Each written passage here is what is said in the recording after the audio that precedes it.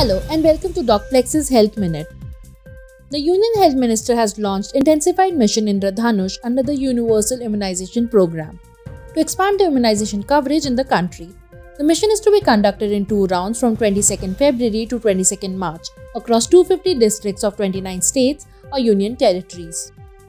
A leading Indian drug manufacturing company has received a nod from the US FDA to market Apremilast tablets indicated for treating plaque psoriasis in patients eligible for phototherapy or systemic therapy.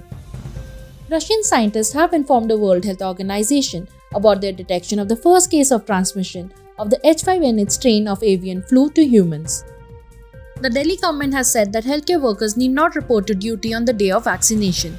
This is in view of the fact that the beneficiaries may have to travel to vaccination sites besides experiencing mild pain and fever in a few cases. The workers will be considered on duty on providing proof of vaccination. In your opinion, should this step be implemented nationwide? Share your opinions by commenting below. Health Minute, the most liked segment of Docplexus, brings you the latest happenings in the medical field. Stay tuned for more insights. Happy DocPlexing!